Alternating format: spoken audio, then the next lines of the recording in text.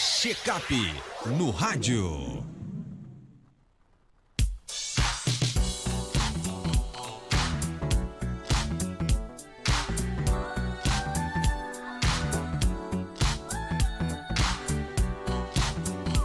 Sete horas vinte e oito minutos, confirmando sete vinte e oito. Gente, o, o, segundo a Organização Mundial da Saúde, os idosos são o grupo populacional de maior risco para o suicídio.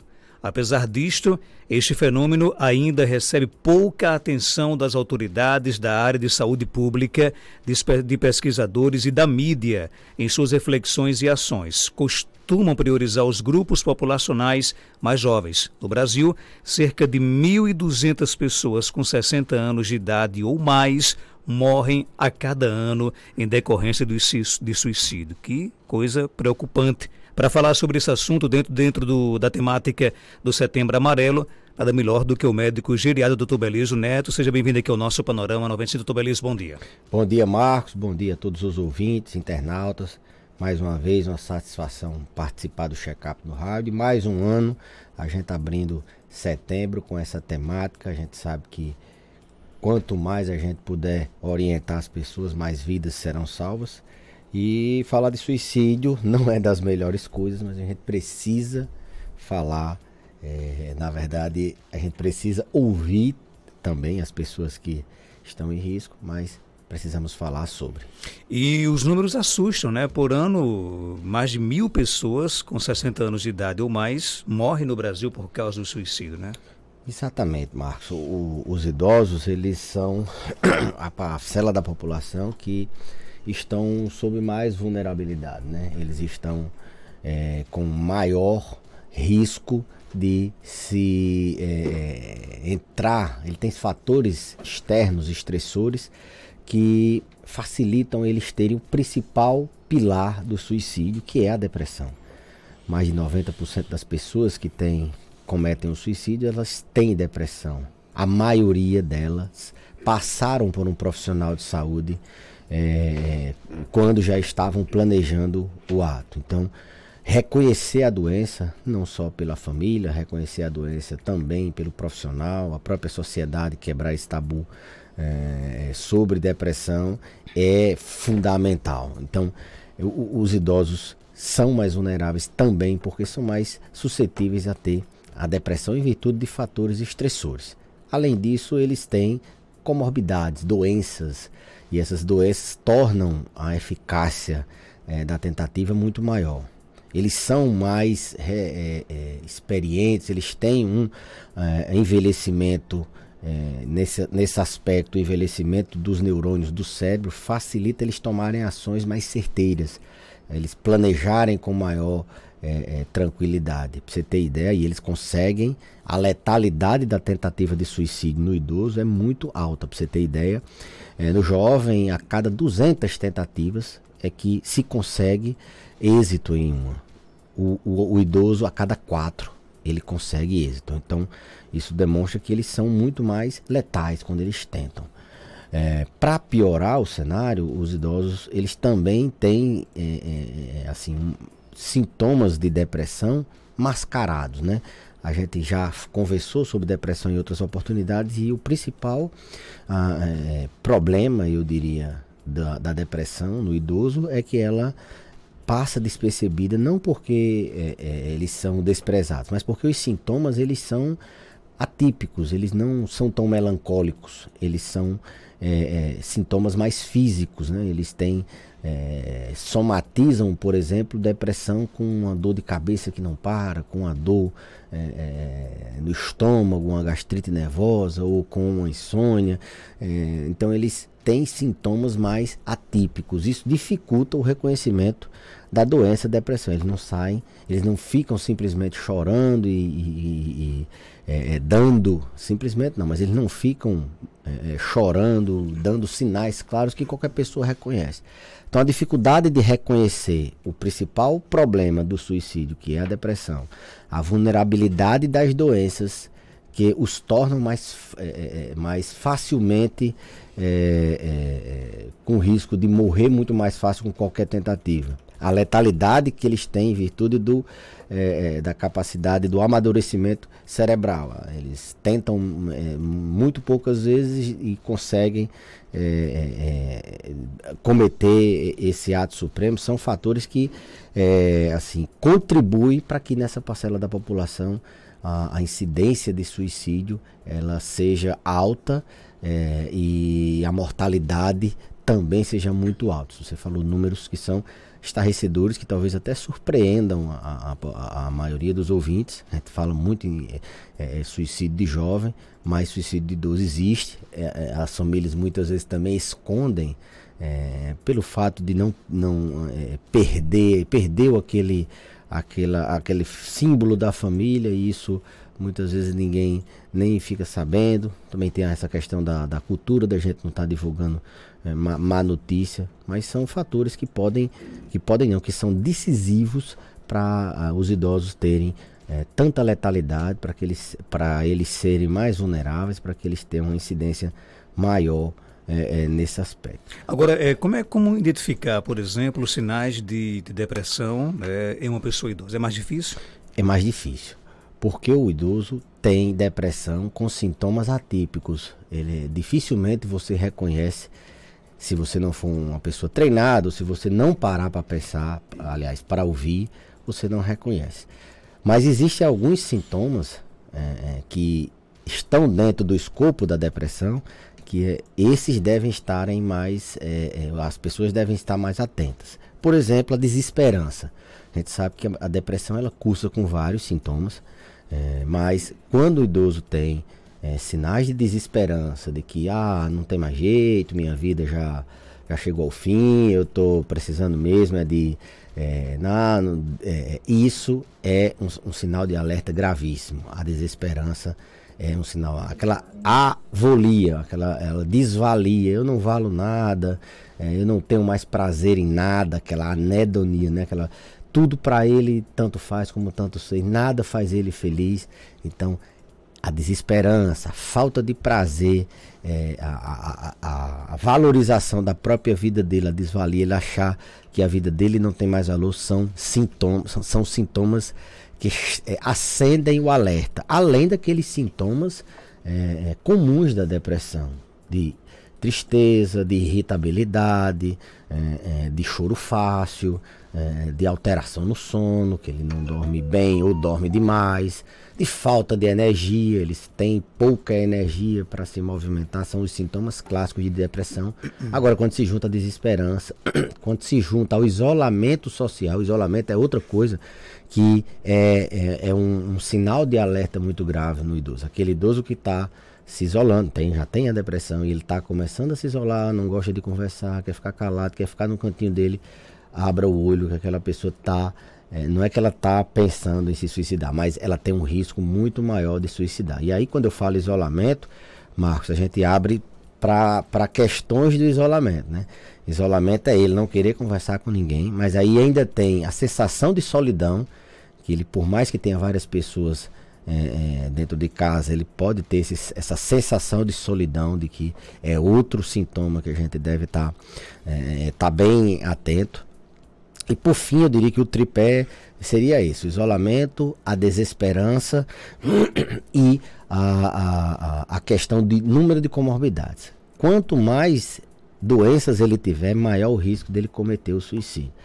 Tem alguma, algumas literaturas que falam que a cada doença é, é, o risco aumenta mais uma vez. Por exemplo, se ele tem é, depressão e tem é, insuficiência cardíaca, então ele tem duas doenças, o risco dele se suicidar, comparando uma pessoa que só tem uma doença, é duas vezes maior. Três doenças, três vezes. Então, quantidade de doenças, é quantidade de doenças, a gente diz é, que são fatores complexos, né? Eles perdem a capacidade, a, a, a funcionalidade, eles começam a não ser mais as mesmas pessoas que eram quando eram jovens, e isso dá é, é, é um gatilho, um, um, um, fator a mais para elas é, é, cometerem o suicídio. Então, tá se isolando, tá com sintoma de desesperança, tá com discurso de morte, aquela pessoa que está é, em toda hora na conversa, por isso que é importante a gente ouvir, perceber está acostumado a falar muito, né? Tem que fazer isso, você tem que fazer aquilo, saia da cama, Minha vá não passear. tem mais sentido, né? Não, eu tô falando quem, quem vai dar o conselho, Hum, ao invés de ouvir, fica dando,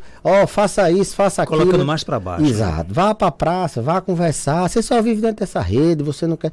Na verdade, você tem que ouvir. Essa é a hora de você dar ouvido. Você ouvir, pensar no discurso, esse, esse, essa desesperança, essa, essa falta de, eh, de sentido para viver, essa, esse, esse discurso de morte, de proximidade da morte, esse pouco. Então, aí você está vendo eh, que a pessoa está com risco maior. É, principalmente se for um idoso que seja do sexo masculino, os homens cometem muito mais suicídio do que as mulheres. Se ele for viúvo, né, e se ele morar só. Eu falei de solidão, ele tanto pode é, tem a questão da solidão de se isolar, de conversar com outras pessoas, As- o sentimento de solidão, que não necessariamente ele precisa morar sozinho, ele pode estar com várias pessoas na mesma casa e ter a sensação de solidão, mas se ele morar sozinho, ele tem um risco também alto, tem um fator de risco, um, um sinal de alerta. Então, sexo masculino, depressão, isolamento, é, é, desesperança, viuvez, se ele perdeu o cônjuge recentemente, ele tem um risco muito maior. É tanto que é, é, a maioria da- é, das pessoas que cometem suicídio, pela literatura na terceira idade, é, elas cometem, eh, foram ver as datas, geralmente é próximo à morte do cônjuge, ou de aniversário, de alguns anos, então eles sofrem muito pela, pela perda do, do, eh, do cônjuge.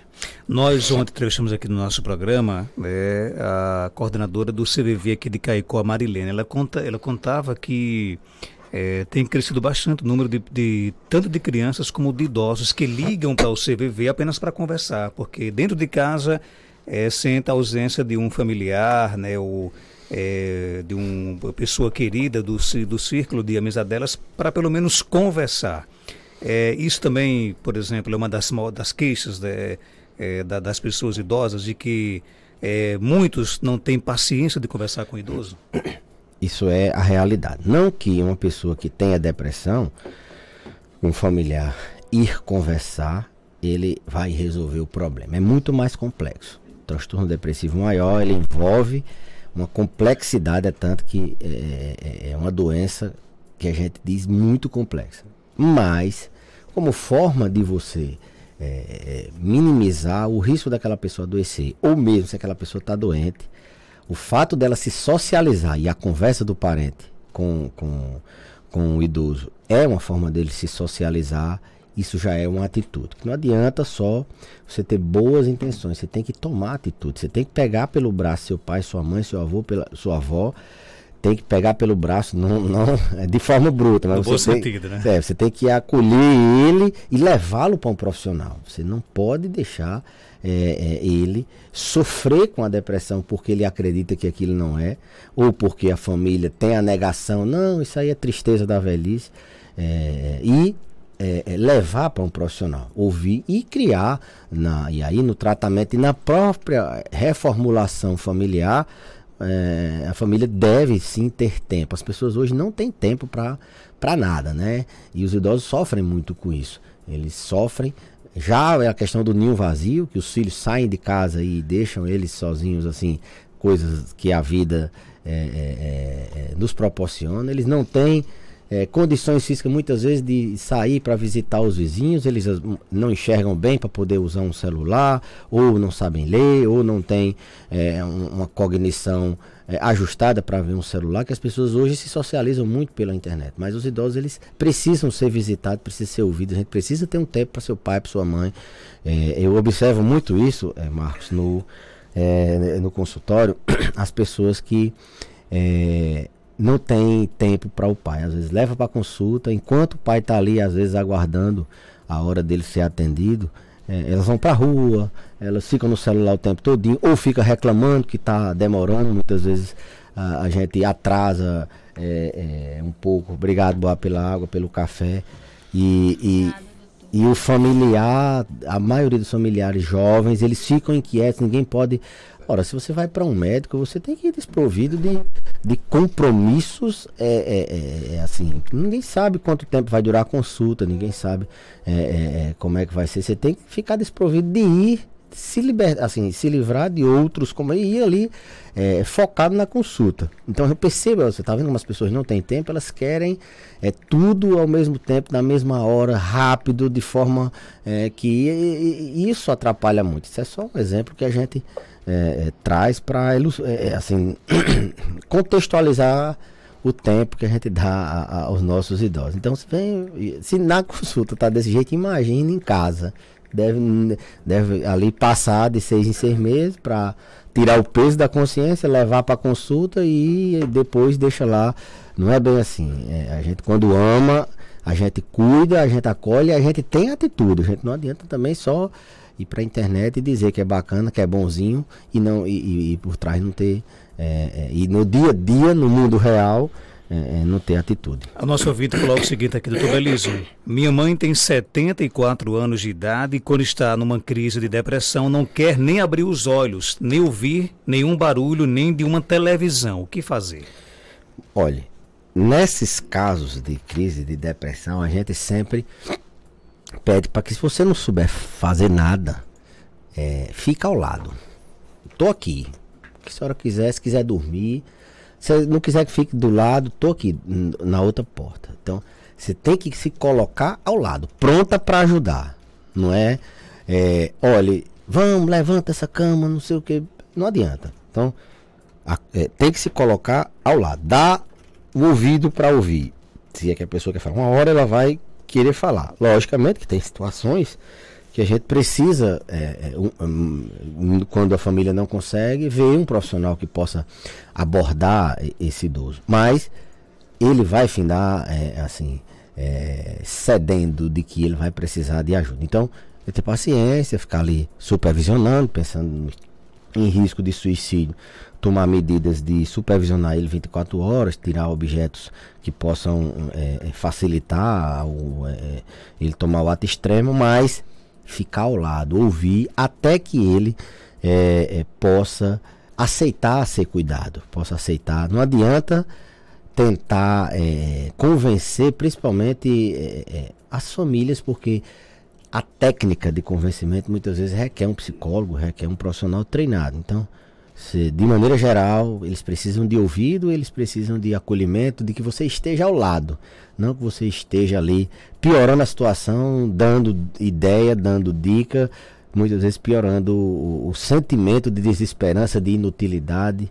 É, a pessoa já não consegue nem se levantar da cama e você ainda está dizendo vá para ilha caminhar. A pessoa se sente um lixo mesmo. Todo mundo vai para a ilha, por que, é que eu não consigo ir? Então, muitas vezes, o silêncio e ouvir, se colocar ao lado, são as atitudes que a gente deve, mas não deixar de levar para o profissional. Essa depressão, ela vai continuar, ela vai trazer prejuízo. A gente está falando de suicídio, mas a depressão ela, ela tem várias frentes de atuação. Ela, ela faz o paciente não tomar o medicamento para pressão e a pressão descontrola. Ela faz o paciente não tomar, não querer se alimentar. Tem até uma questão, é, Marcos, de a gente chama de suicídio passivo. O que é isso?